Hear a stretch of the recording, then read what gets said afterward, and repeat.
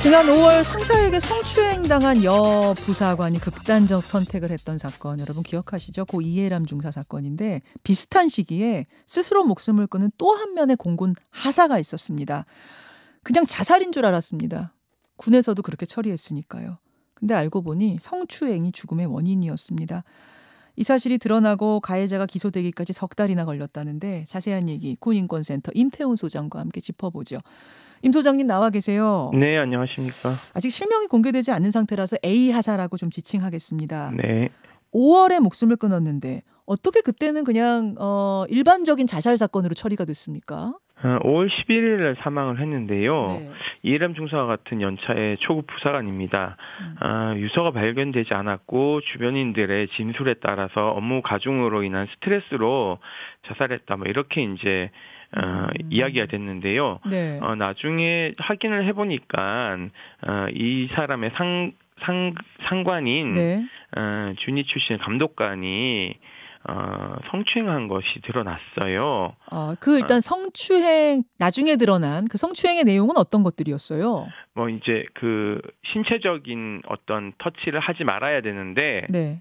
그 동의를 받지 않고 터치를 두 차례 했고 스킨십. 음. 예 그것에 대해서 하지 말라라는 이제 그 진술을 어 당사자가 한 것으로 알고 있습니다. 그리고 그렇다면 피해자 유가족에게 빨리 통지를 해야 되거든요. 음. 그럼에도 불구하고 유가족에게 알리질 않았습니다.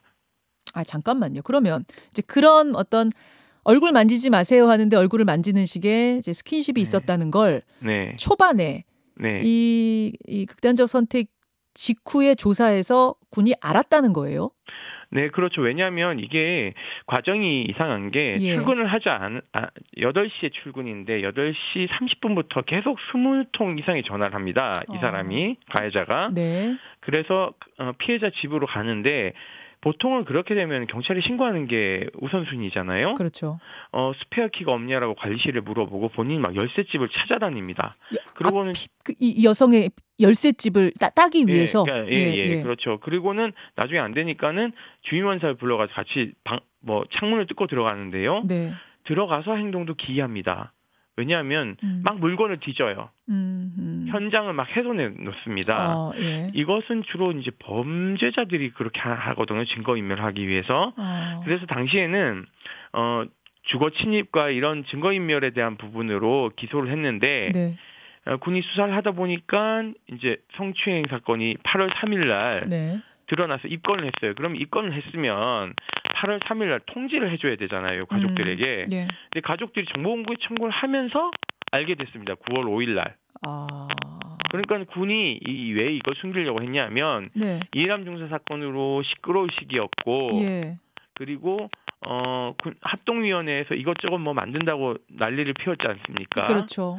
이런 것들이 국민들에게 그대로 알려지면 어 군이 비난받을까봐 겁이 났던 것이죠. 그러니까 군의 상부 구조를 지키기 위해서 아. 이런 피해 사건을 국민 유가족에 은폐하고 국민들에게 은폐한 것이죠. 아니 그러니까 이거는 지금 두 가지 트랙으로 문제점이 있네요. 하나는 아, 이, 이 가해자의 성추행 행동, 이거 누가 봐도 잘못된 짓, 이게 이제 문제였던 거고, 이것을 조사를 해놓고도 그 당시 이해람 중사 사건으로 뭐 구- 군이 어수선하고 국민적인 분노가 폭발하니까 이걸 알리지 못하고 일단은 자살로 그냥 종결해버렸다는 은폐, 두 가지 트랙의 문제점이 있군요. 네 그렇습니다. 그리고 가족들이 하도 이상하니까 예, 예.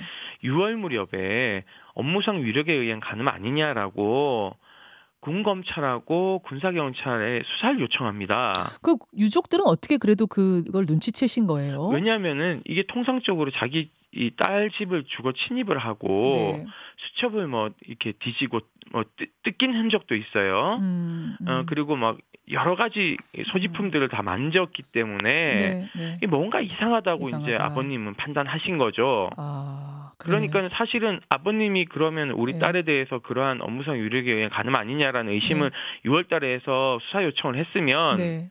8월에 이런 결과가 나왔으면 알려드리는 게 정상이죠. 그건 당연하죠. 예, 그런데 그걸 알리지 않았다는 게 굉장히 어, 은폐의 축소 이런 것들로 이어질 가능성이 높고 또 하나는 네. 거짓말 탐지기 반응에서 그러한 그 질문들을 했을 때 혹시 피해자와 성관계를 가졌냐라고 했을 때 안 가졌다라고 하는데 거짓 반응이 나왔어요. 아. 그러니까 이런 것들이 추가 여죄 같은 것들이 있을 개연성이 높다라는 거고 또 이상한 것은 네.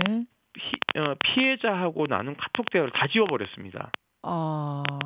그러니까 이런 것도 좀 문제고 평상시에 28살이나 차이가 나는 네, 네. 여군한테 찾아와서 이것저것 뭐 어 뭐 음. 챙겨준다는 미명하에 찾아온 것도 사실은 음. 어, 저는 굉장히 부적절한 행동이라고 생각하고 지금 이제 있습니다. 유서가 없는 상황이기 때문에 이, 네. 이, 이 여러 가지 이제 가해, 그 가해 남성이 여러 가지 막 뭐 변명들을 했을 것 같은데 이런 얘기를 했을 수 있어요. 예를 들어 나이 차이는 28살이나 나지만 우리는 뭐 사귄 사이였다. 이런 식으로 이제 조사에서 얘기했을 가능성도 있지 않겠어요? 그런 얘기는 아직 안 들리고요. 아. 그렇다 하더라도 28살 차이가 난다는 것 자체가 사실상 엄청난 하늘과 땅 차이고 이게 업무상 보면 음. 주, 여기는 준이 계급이기 때문에요. 하사와 준입니까? 네, 아, 아, 버지 계급 차이가 많이. 사실은. 예, 많이 그러기 나네요. 때문에 예, 예. 저는 뭐 그런 음. 변명을 하는 것 자체가 뭐 저는 별로 이렇게 재판부에 설득이 안 될 것 같습니다. 게다가 예, 예. 피해자가 얼굴 만지는 거 싫습니다라고 분명한 거부 의사를 표명했다는 걸 이걸 가해자가 인정한 거죠. 네, 네, 그렇습니다. 그거는 본인이 음. 자백한 겁니다. 알겠습니다.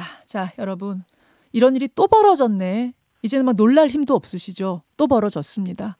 예, 신경을 우리가 쓰고 어떻게 끝까지 이 부분이 처리되는지 관심 가져야겠습니다. 소장님 고맙습니다. 네, 감사합니다. 군인권센터 임태훈 소장이었습니다.